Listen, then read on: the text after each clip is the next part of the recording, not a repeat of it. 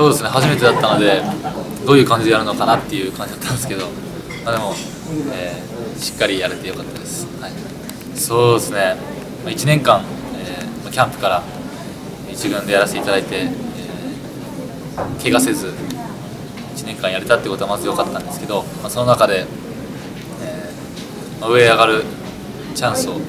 えー、掴み取ることができなかったので、えーまあ、そういうところの弱さとかもしっかり反省して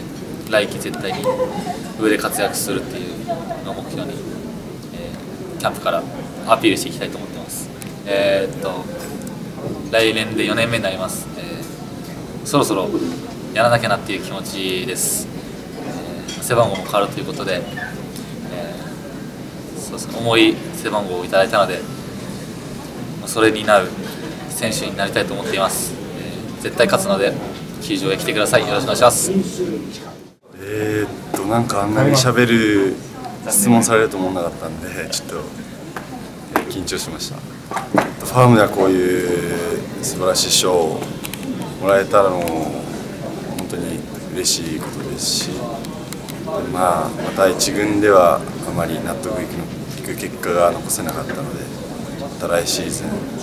この経験生かして頑張っていきたいと思います。っとまた来シーズンも元気よく明るいプレーを皆さんのために、えーね、皆さんの皆さんに見せていきたいと思いますので応援の方よろしくお願い。しますこのような素晴らしい賞を受賞できて光栄です。辛い時期もあったんですけど、まあ、後半は1軍でも挙げられましたしすごくいい1年を送ることができました、まあ、そうですね。やっぱり開幕ローテーション入りというのは今一番の目標なので、まあ、それに向かって頑張っています。1年間応援ありがとうございました。また来季ももっとチームの力になりますので、まあ、ぜひ球場に足を運んでいただいて自分の投げる姿を見に来てくださいお願いします